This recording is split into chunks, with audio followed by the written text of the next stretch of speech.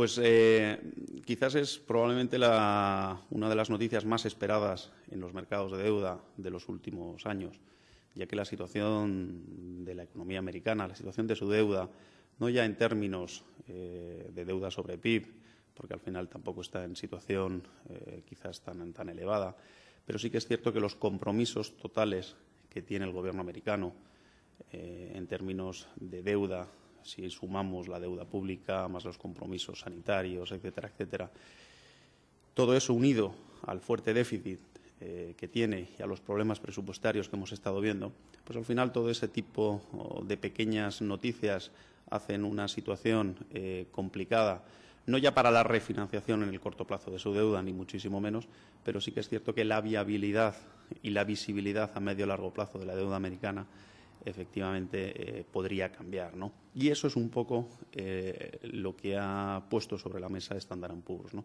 Ha mantenido su rating en AAA, pero le ha puesto la perspectiva en negativa. ¿no? Históricamente siempre eh, es muy difícil que en un Estado soberano eh, y en este caso Estados Unidos, que quizás al final es un poco la referencia de todos los mercados de deuda a nivel general, por ser el, de los mayores mercados, por no decir el mayor mercado, eh, es muy difícil que se baje la calificación crediticia inmediatamente. Normalmente se produce una perspectiva negativa, como se ha sido el caso, y en un periodo comprendido entre los dos meses y doce meses se pueda proceder a esa rebaja de rating.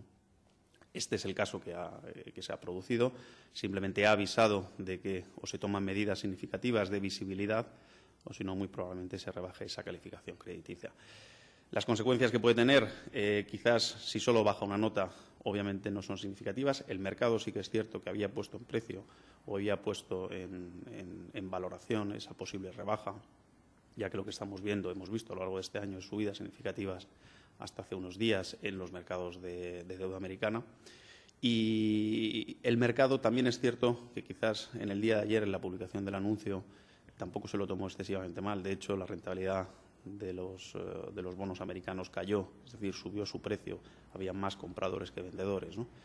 Quizás más que la importancia de la noticia, que tuvo mucha, tuvo mucho revuelo, ha tenido muchos titulares, eh, obviamente, en las próximas semanas esa situación se va a diluir.